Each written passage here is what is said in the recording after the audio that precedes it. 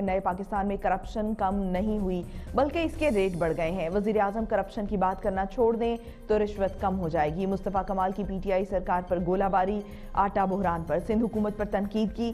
بولے، سندھ میں وافر مقدار میں گندم موجود تھی، لیکن اسے کم داموں برآمد کر دیا گیا۔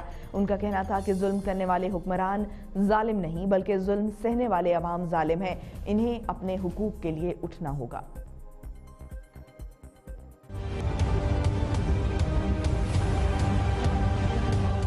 روپے کا کام میں کام ہوتا تھا، وہ پانچ لاکھ میں نہیں ہو رہا۔ کیا کہ بھئی وزیر اعظم صاحب نے کرپشن پہ بڑی سختی کر دی ہے۔ میں تو ریکویسٹ کر چکا ہوں آپ لوگوں کے ذریعے وزیر اعظم کے خدا کے واسطے کرپشن کا نام لینا بند کر دو۔ ریٹ تو کم ہو جائے کم سے کم رشوت کے۔ کون سا کام ہے کرپشن کے بغیر ہو رہا ہے؟ بڑھ گئے ریٹ بھائی، بڑھ گئے ریٹ آپ کو اپنی لیفٹ رائٹ کا نہیں پتا، آپ جو ہے وہ کرپشن کیا ختم کرائیں گے؟ اینی ویز لوگوں، ظالم وہ نہیں ہے جو تم پر اپنی حکمرانی سے ظلم کرا ظالم تم ہو، لوگ ظالم ہیں۔